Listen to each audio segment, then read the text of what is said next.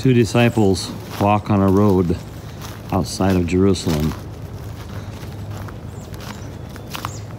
And they're talking about the things that had taken place in recent days confusing things, sad things, uncertain things.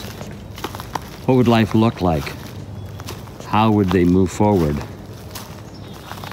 Could there be life again? Jesus makes a way in the wilderness, makes a path for our feet, and joins us in the journey. May the journey that unfolds before you this day be one that reveals the presence of Christ and his comforting grace around us.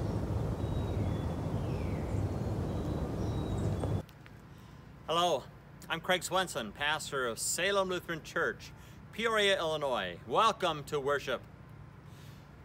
Joined to Christ in the waters of baptism, we are given new life.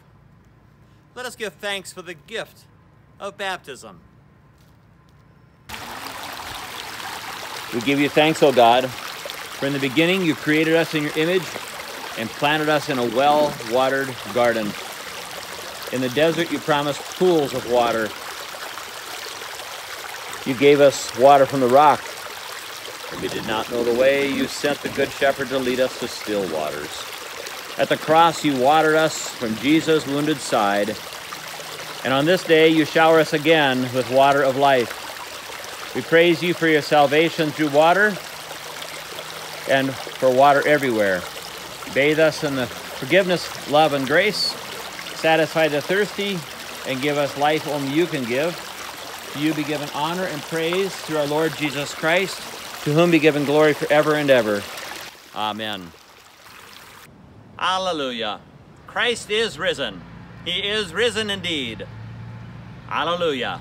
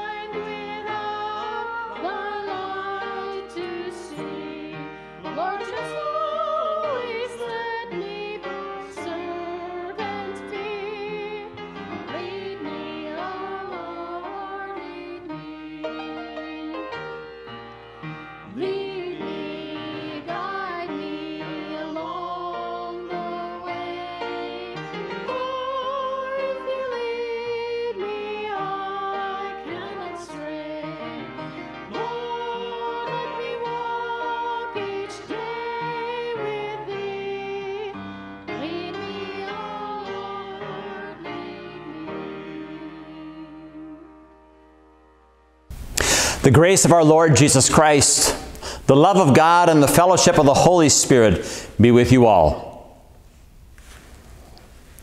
We join in singing the hymn of praise.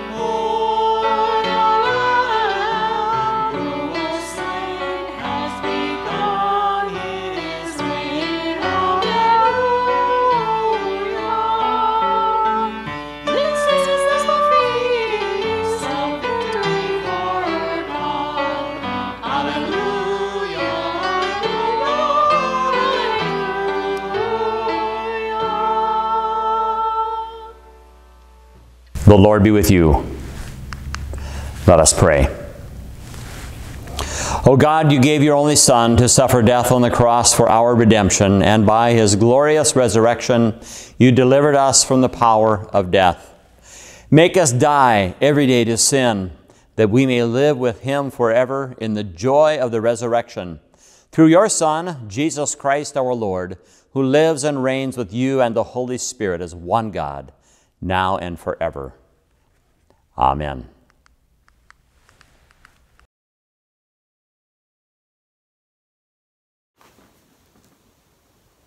Hello there. Our story for this week is called The Road to Emmaus, and it takes place after Jesus has died and two of his disciples are walking seven miles from Jerusalem to Emmaus. Now, back then, that's how everybody got around. They walked. And so, seven miles would have taken like around two hours or so. And while they're doing this, a stranger comes along and walks with them. And the stranger is really Jesus, but they don't recognize him. This walk to Emmaus seems so long when your heart is heavy. I can't believe it. Death by Romans only meant to be for criminals. He never did anything wrong. No, he I knew so much. I hate to think of how he suffered. Yeah. We'll we never couldn't even stay awake for him in all of the garden. Man, I can't Yeah. believe it. Yeah. It's so strange to think we'll never see him again. I just can't believe it. Life will be so empty without him. Hello? Oh, Oh, hello there, sir. Would you like to join us in our walk to Emmaus? Sure. all right. How long have you been walking? A few miles by now. yes, it's a, it is a seven mile journey from Jerusalem. It's a long way. You got these things. Mhm, Yes, that would speed it up some. Better. Hmm. I was wondering. Yeah. It's getting a bit late out. Would you like to join us for supper? Oh, Sure. That's a good idea. Yes, come Sure. and join Come. us. Come. And in fact, he tells them all about himself, all about Jesus, interpreting scriptures, and they still don't realize who it is. As it gets late, they invite him to stay with them and eat, and he does. And finally, when he is breaking the bread, just like he did at the Last Supper, they realize who it is Jesus. And he disappears. They are so excited, even though it is late, and they run all the way back to Jerusalem, seven miles, to tell their friends Jesus is alive. Well, let's eat. I'm hungry.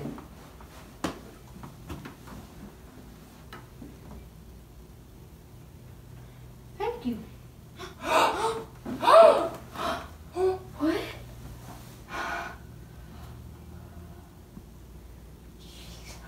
It's Jesus. Jesus! That was Jesus! Oh, Jesus! Oh my gosh! We gotta Go! try to Jerusalem!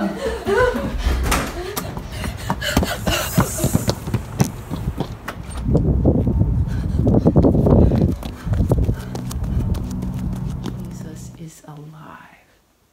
Can you imagine how excited and joyful they must have been to run back and tell their friends? Wow we can feel that same kind of joy of Jesus' presence, of Jesus being with us, and feel Jesus loving us when we read the Bible. And there are a lot of different Bibles out there. So I would invite you to read yours or have someone in your family read to you. And I hope that you have a wonderful week and God bless you and keep you safe. You are children of God. Bye bye. A reading from Acts. Peter, standing with the eleven, raised his voice and addressed the crowd. Therefore, let the entire house of Israel know with certainty that God has made him both Lord and Messiah, this Jesus whom you crucified. Now, when they heard this, they were cut to the heart and said to Peter and to the other apostles, Brothers, what should we do?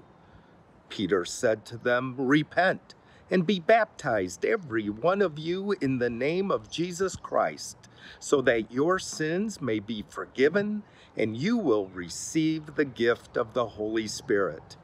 For the promise is for you, for your children, and for all who are far away, everyone whom the Lord our God calls to him.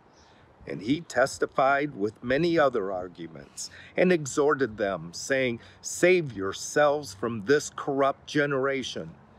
So those who welcomed his message were baptized, and that day about 3,000 persons were added. Word of God, word of life. Thanks be to God. A reading from Psalm 116. I love the Lord who has heard my voice and listened to my supplication. For the Lord has given ear to me whenever I called. The cords of death entangled me. The anguish of the grave came upon me. I came to grief and sorrow. Then I called upon the name of the Lord. O Lord, I pray you, save my life. How shall I repay the Lord for all the good things God has done for me? I will lift the cup of salvation and call upon the name of the Lord. I will fulfill my vows to the Lord in the presence of all God's people. Precious in your sight, O Lord, is the death of your servants. O Lord, truly I am your servant. I am your servant, the child of your handmaid. You have freed me from my bonds. I will offer you the sacrifice of thanksgiving and call upon the name of the Lord. I will fulfill my vows to the Lord in the presence of all God's people, in the courts of the Lord's house, in the midst of you, O Jerusalem. Word of God, word of life.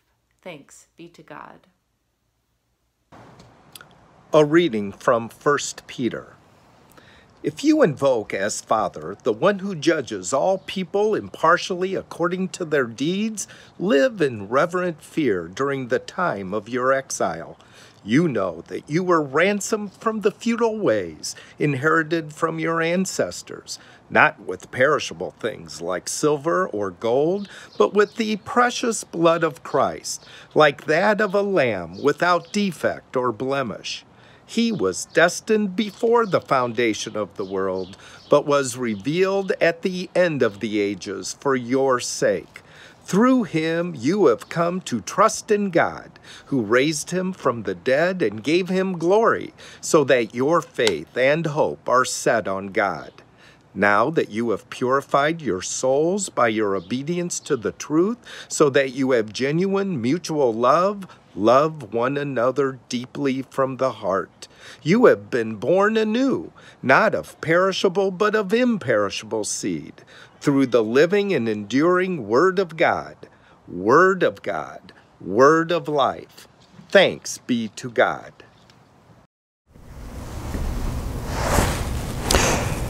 This is the Holy Gospel. It is according to the 24th chapter of St. Luke. Glory to you, O Lord. Now, on that same day, two of them were going to a village called Emmaus, about seven miles from Jerusalem, and talking with each other about all these things that had happened. While they were talking and discussing, Jesus himself came near and went with them. But their eyes were kept from recognizing him. And he said to them, What are you discussing with each other while you are walking along? They stood still, looking sad. Then one of them, whose name was Cleopas, answered him, Are you the only strangers in Jerusalem who does not know the things that have taken place there in these days? He asked them, What things? They replied, The things about Jesus of Nazareth who was a prophet, mighty in deed and word before God and all the people, and how our chief priests and leaders handed him over to be condemned to death and crucified him. But we had hoped that he was the one to redeem Israel. Yes, and besides all this, it is now the third day since these things took place. Moreover, some women of our group astounded us. They were at the tomb early this morning and when they did not find his body there, they came back and told us that they had indeed seen a vision of angels who had said that he was alive. Some of those who were with us went to the tomb and found it just as the women had said, but they did not see him. Then he said to them, Oh, how foolish you are, and how slow of heart to believe all that the prophets have declared. Was it not necessary that the Messiah should suffer these things and then enter into his glory? Then, beginning with Moses and all the prophets, he interpreted to them the things about himself in all of the scriptures. They came near the village to which he, they were going. He walked ahead as if he were going on, but they urged him strongly, saying, Stay with us, because it is almost evening, and the, the day is now almost over. So he went in to stay with them. When he was at the table with them, he took bread, blessed it, and broke it, and gave it to them. Then their eyes were opened. And they recognized him, and he vanished from their sight. They said to each other, Were not our hearts burning within us while he was talking with us on the road, while he was opening to us the scriptures? That same hour they got up and returned to Jerusalem, and they found the eleven and their companions gathered together. And they were saying, The Lord has indeed risen and has appeared to Simon.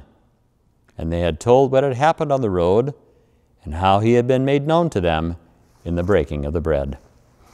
This is the gospel of our Lord. Praise to you, O Christ.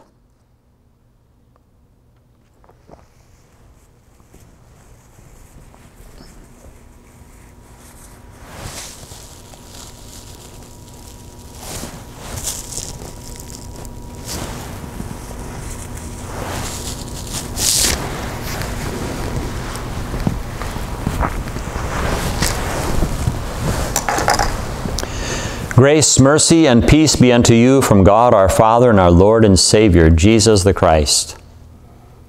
Amen. Let us pray. Heavenly Father,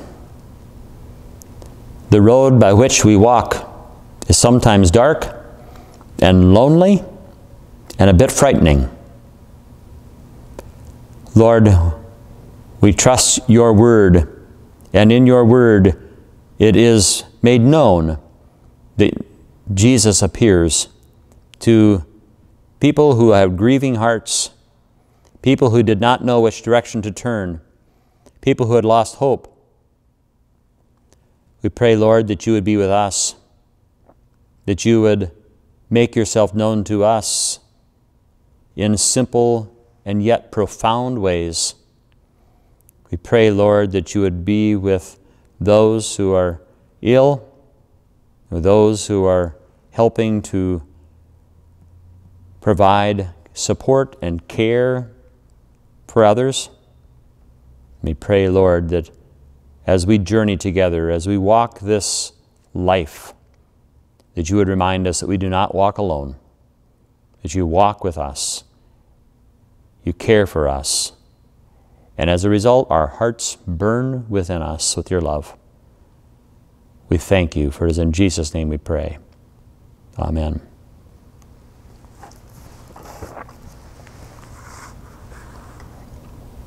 I was a student at Wartburg Theological Seminary from the years 1991 and graduating in 1995.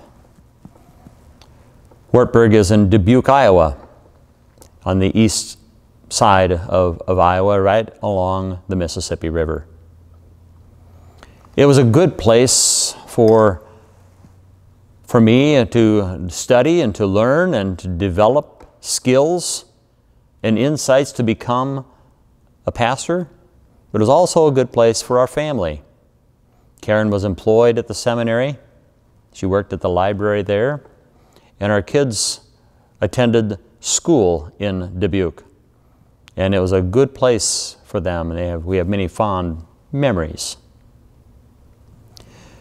Of the memories that I have at seminary is time shared with classmates, trying to understand what it was that these professors were trying to pour into us. Sometimes the subject matter was, was a bit challenging, to say the least. And so we would get together for study sessions to prepare for exams or to write papers. And we would gather together in what was called the refectory, just op opposite of the chapel. And we would have coffee and we would give each other support and lend and listening ear. Sometimes we would go for a walk.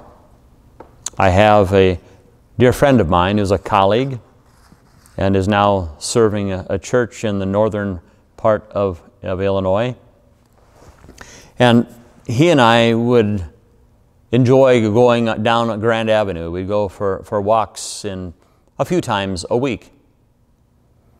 Oftentimes it was because we needed the exercise, we needed to get out and get some fresh air.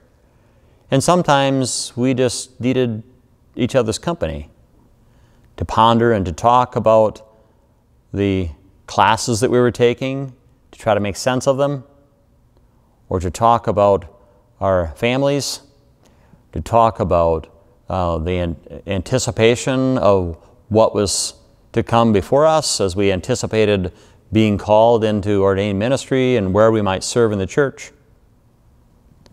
I remember the phone would ring in the evenings, and either I would call Ken or Ken would call me, and we, we would simply say, Would you like to go for a walk?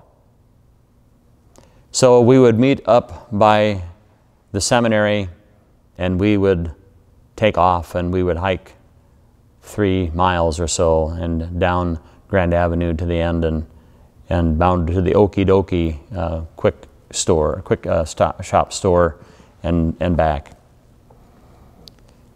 It was a good time together. It developed a deep friendship that lasts to this day.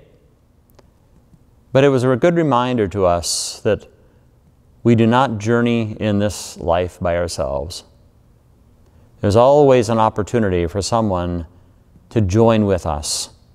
Sometimes it's physically going for a walk, sometimes it's a, a note or a phone call or some kind of other kind of messaging system that is a way of getting in touch, letting people know that they're in our hearts and in our prayers, and that whatever is going on in their lives, they are not alone. That's a sad feeling, that sense of being abandoned, that sense of being alone. We've had a little bit of that experience, I think, from time to time when we've been in this shelter in place now for a, a number of weeks. And sometimes it can get a little weary for us. And we wonder too what the future might hold for us as we anticipate that this will not last forever.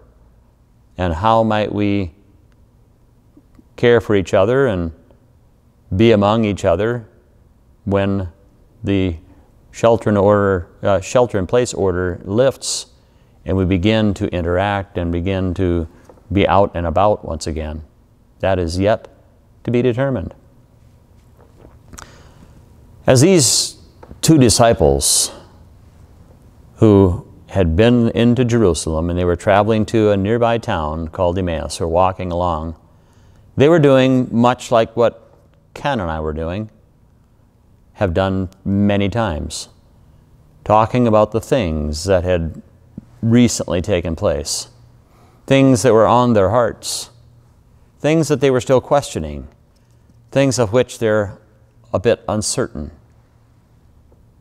And then on their journey, there came this third person along, though they didn't recognize it was Jesus. And he bends a listening ear into their conversation.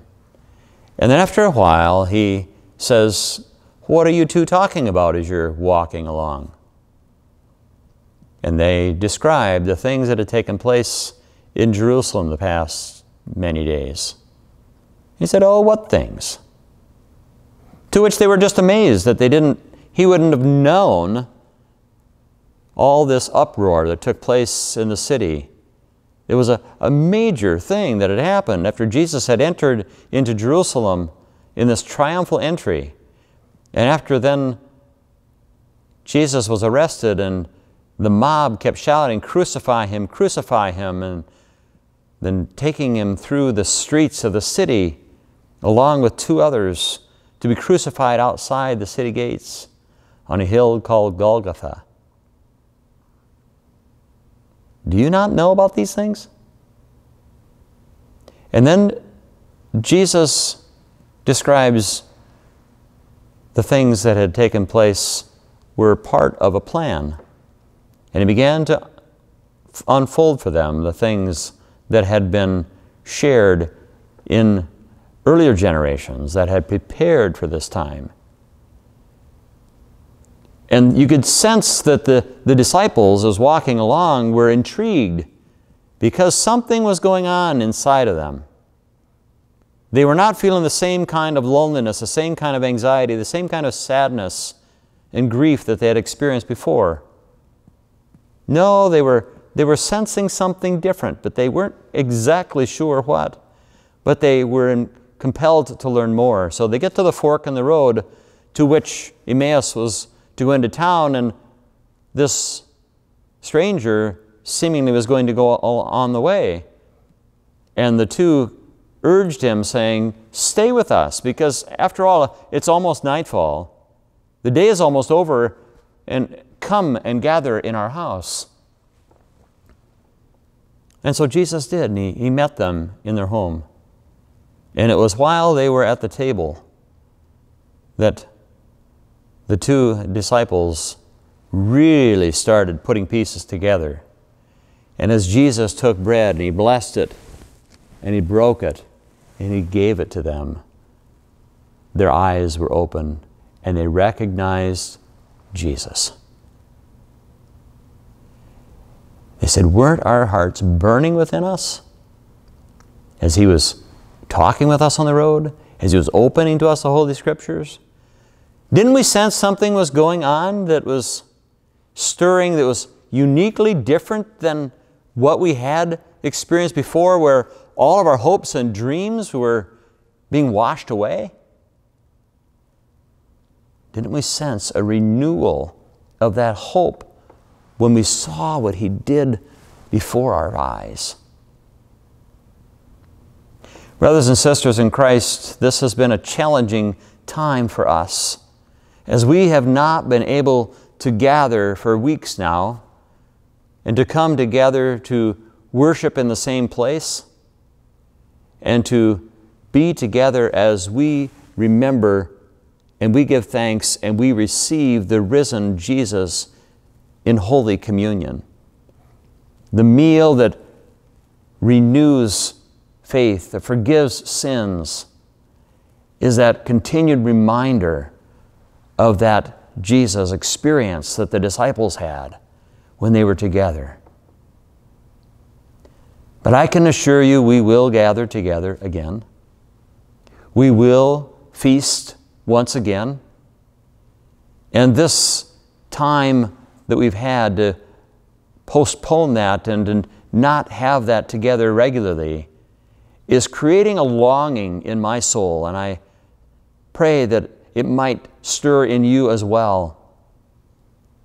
May that longing and that urging and yearning for the presence of Jesus be soothed and be stilled by the message of God's love and grace through the Holy Word.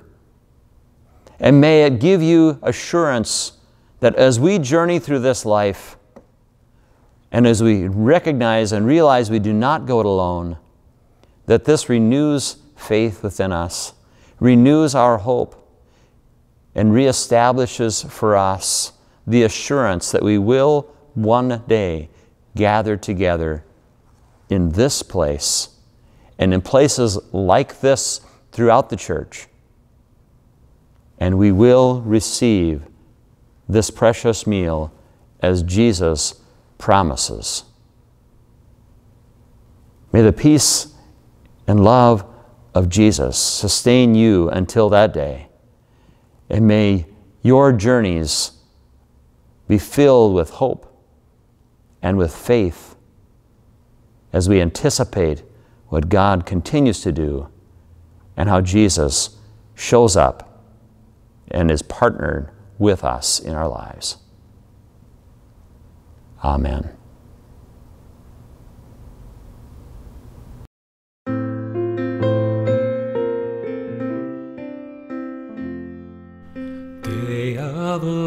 Arising, Christ on the roadway, unknown companion walks with his own. When they invite him, as fades the first day, and bread is broken, Christ is made known.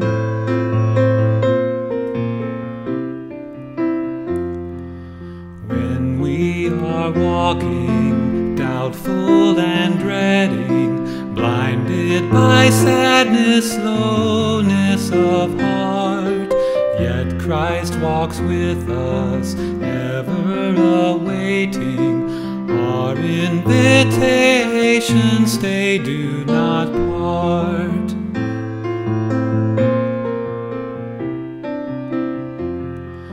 Christ our companion, hope for the journey, bread of compassion, open our eyes, grant us your vision, set all hearts burning, that all creation with you may rise.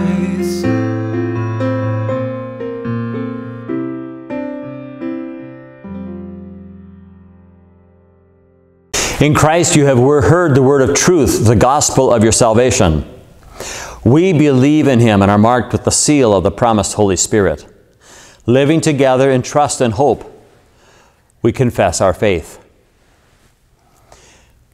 We believe in one God, the Father, the Almighty, maker of heaven and earth, of all that is, seen and unseen.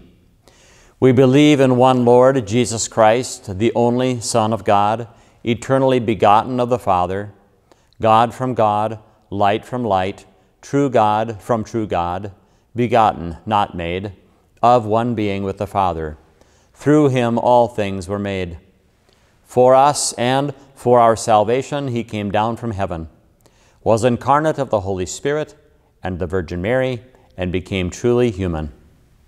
For our sake he was crucified under Pontius Pilate. He suffered death and was buried. On the third day he rose again in accordance with the Scriptures. He ascended into heaven and is seated at the right hand of the Father. He will come again in glory to judge the living and the dead, and his kingdom will have no end. We believe in the Holy Spirit, the Lord, the giver of life, who proceeds from the Father and the Son, who, with the Father and the Son, is worshiped and glorified, who has spoken through the prophets. We believe in one holy Catholic and Apostolic Church. We acknowledge one baptism for the forgiveness of sins. We look for the resurrection of the dead and the life of the world to come. Amen. Uplifted by the promised hope of healing and resurrection, we join the people of God in all times and places in praying for the church, the world, and all who are in need. Trustworthy God, thank you for your life-giving and enduring word. May we continue to find creative ways to share the good news and fellowship of the body of Christ. Lord, in your mercy, hear our prayer. Bountiful Lord, we give you thanks for the earth you have created and the food it provides to sustain your people. Guide us so that all may share in your abundance. Lord, in your mercy, hear our prayer. Renewing God, you call all people to yourself. Unite us as a people around the country and world in mutual love and concern, that we might recognize you in the faces of those with whom we disagree. Lord, in your mercy, hear our prayer. Merciful God, you yourself come near and walk with us during these uncertain times. Grant your peace and healing to all who despair and suffer in body or spirit. Lord, in your mercy, hear our prayer. God who hears, we pray your comfort for people grieving canceled milestones, celebrations, and goodbyes. Help us support and encourage one another through the power of your Holy Spirit. Lord, in your mercy, hear our prayer.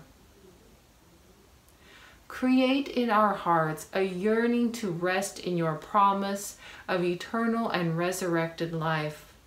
Give us thankful hearts for those who have died, even as we look forward to the hope of new life with you. Lord, in your mercy, hear our prayer. With bold confidence in your love, Almighty God, we place all for whom we pray into your eternal care through Christ our Lord. Amen. Let us pray in the words that Jesus gave us. Our Father who art in heaven, hallowed be thy name. Thy kingdom come, thy will be done on earth as it is in heaven. Give us this day our daily bread, and forgive us our trespasses, as we forgive those who trespass against us. And lead us not into temptation, but deliver us from evil. For thine is the kingdom, and the power, and the glory, forever and ever. Amen. for the many and varied and generous gifts that continue to support this congregation and the ministries that it supports in this community and around the world. Thank you. We pause now to give thanks and to remember the abundant blessings that God provides for us and the way that God equips us and calls us to share with others.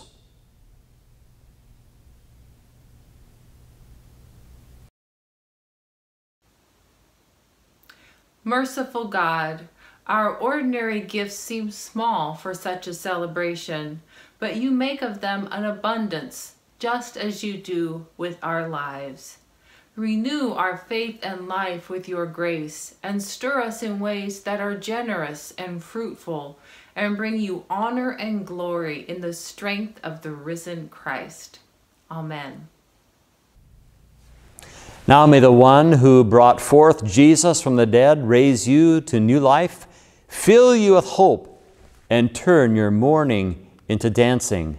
Almighty God, the Father, the Son, and the Holy Spirit bless you now and forever. Amen.